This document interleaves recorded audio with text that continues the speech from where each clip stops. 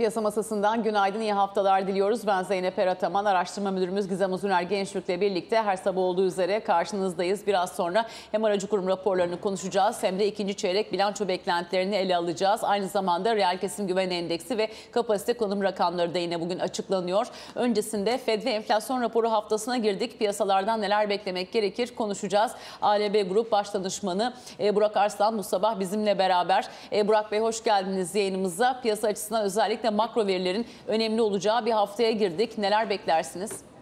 Zeynep Hanımlar, günaydınlar, iyi haftalar. E, Şimdi FED'e e, geldik, herkesin beklediği. Şimdi FED'den önce iki hafta boyunca piyasanın fiyatlamalarına bakladığımız zaman e, ABD 10 yıllıklarında 3.50'lerden e, 2.74'lere tekrardan gelen bir 10 yıllıklar görüyoruz. Dolar endeksinde 109.5'lardan e, 106 seviyelerine geri çekilen bir dolar endeksi görüyoruz ve dünya borsalarında da geçen hafta güzel bir halde gördük.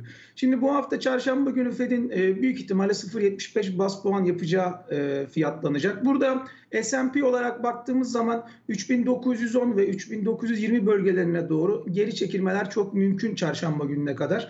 Nasdaq tarafında 12200-12100 bölgeleri önemli destek olacak. Ama özellikle borsalara baktığınız zaman haftalık kapanış olarak geçen hafta gerçekten fena değildi ve hani Nasdaq'ta belki bu faiz artışı da bittikten sonra 12.200, 12.100'lerin altına gelmezse belki Nasdaq'ta 12.900'lerin üzerine bir hareket göreceğiz. Şimdi e, özellikle içeride bizim borsa tarafına baktığınız zaman geçen haftaki dünya borsalarının olumlu havasıyla beraber bizde de bilanço dönemi başlıyor artık bugün itibariyle. Yavaş yavaş bunu satın almaya başlayan bir borsa gördük. 2360'larda önemli destek yapan borsa 2500'lerin üzerine geldi. Şimdi esas zor kesim başlıyor. Niye? Şimdi hem bilançolar geliyor. Artık bir hani bu fiyatlanmış mı, beklenti gerçekleşti, satışı gelecek mi buna bakacağız. Özellikle 2590-2600 ilk önemli direncimiz Zeynep Hanım. Ondan sonra da 2690 var ama sanki biraz daha 2690'a biraz zorlanacağız gibi ama özellikle bu bilanço dönemini 2590-2600 direnç olarak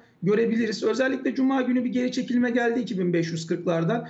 E, Viyop olarak bakarsanız 2730-2740 çok önemli bir destek seviyemiz. Yukarıda 2800'ler önemli direnç seviyemiz. İşte bankalar e, muhtemelen çok iyi bilanço açıklayacaklar. Bankacılık endeksinin 1900'lerden 2100'lere yaklaşık %10'a yakın bir tepki verdiğini gördük. Orada da yukarı seviye 2236'lar. Bakalım bu bilançolar geldikçe e, beklenti fiyatlandığını gösterecek mi? Çünkü içeride çok fazla yabancı olmadığı için e, endeks bir yerde tıkanıyor. E, çünkü ciddi anlamda yabancının takas oranı çok düşük ve içerideki parayla da sonuçta belli yerlere kadar gidebiliyorsunuz. Tabi burada dolar TL çok önemli. Özellikle geçen hafta dolar endekslerinde %3'e yakın değer kayıpları varken tüm dünyada biz 17.45'lerle başlayıp 17.80'lere dayanan bir kur görüyoruz. Ve özellikle 18.40 all time high seviyemize çok yakınız. Özellikle daha yaz aylarındayız. Daha bunun son çeyreği var. Ve bu 18.40'a yaklaştıkça Zeynep Hanım birazcık TL'yi rahatsız edecek bir pozisyona girebiliriz. Hani burada bizim için tek olumlu olacak şey dünya piyasalarındaki hareketin devamı olabilir. Veya işte 2.72-2.74 bölgesinin 10 yıllıklarda kırılıp 2.55'lere gelmesi olabilir. Biraz TL bakımından zayıf. Dolar tarafında hala hani e, ucuzuz TL anlamında. E, ama orada da dünya piyasaları çok etkileyici olacaktır Zeynep Hanım.